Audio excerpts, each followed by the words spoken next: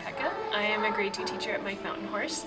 Um, I started this job last September and I've been teaching for the last six months. I got to do my uh, last practicum here at the school in grade 1 and so I had the opportunity to continue on teaching grade 2 with some of the students that I had last year.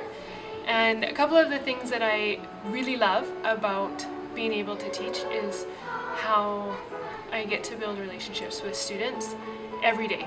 Every day is a different day, every day has great things and hard things and at the end of the day if I get to love kids and let them know that they're in a safe spot and they get um, the best access to learning that they can, that's one of the greatest things about my job. My name's Erin Herkett and I'm the principal of Mike Mountain Horse Elementary in Lethbridge. And Brittney Petkau is our Edwin Parr nominee and she is an absolute dream to have on staff. I cannot say enough great things about Brittney. Brittney has worked really hard this year to put in best practices with literacy and numeracy and competency-driven learning. She's done a lot with her team with project-based learning. She's contributed to the entire school community on a lot of different committees. She's helped to direct our junior and senior choirs. She's been a head coach on basketball and she's just a joy to have around. She's intelligent, she's insightful, she's just everything you could ask for in a teacher and we're so happy to have her on our staff this year. My name is Mark Blankenstein, Assistant Principal at Mike Mountain Horse Elementary School. We have so appreciated the work that Brittney has done at our school in the short time that she's been here since the beginning of the year as time feels like it's flown by. She has really contributed a lot to specifically using educational assistance supports in her classroom and she really gets this idea of using the supports in a way that meets the needs for all students and that's I think one of Brittney's um, strengths that she's able to utilize the adults and the volunteers and the parents in her room in a way that in a sense seems like every kid feels special and every kid's needs gets met. So that's awesome. Well done Brittney, so good. Hi there, my name is Robin Lilly and I teach grade 2 at Mike Mountain Horse here with Miss Petkau and I've just had the real pleasure and honor of working with her and she's on my teaching team this year. We have five grade 2 classes and I've just really enjoyed working with her. She's a real team player and she just really brings a lot of value to our school.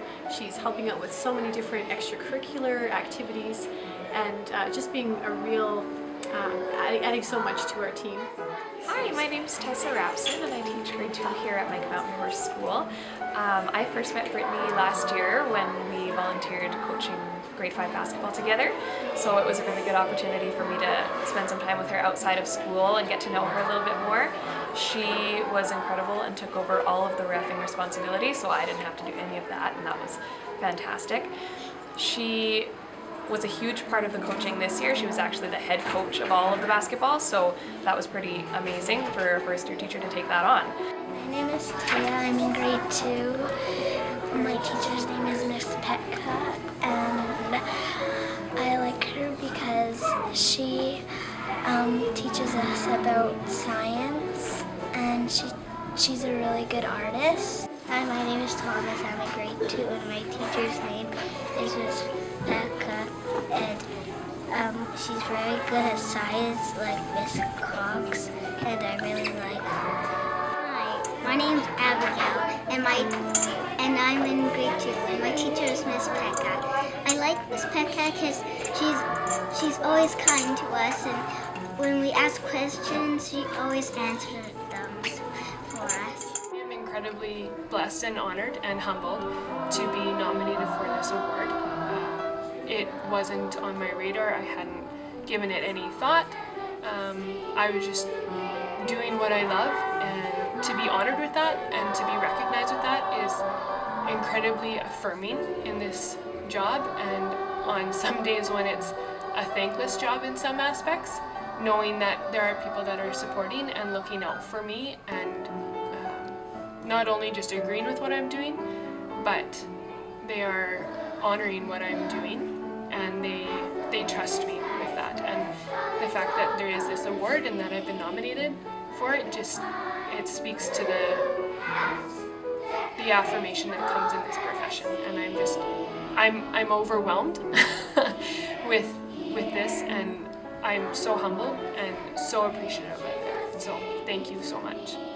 There's a million things I could say about Brittney. I could go go on and on. She's just excellent at what she does, and I can see her just continuing to learn and to grow and become an absolutely excellent teacher.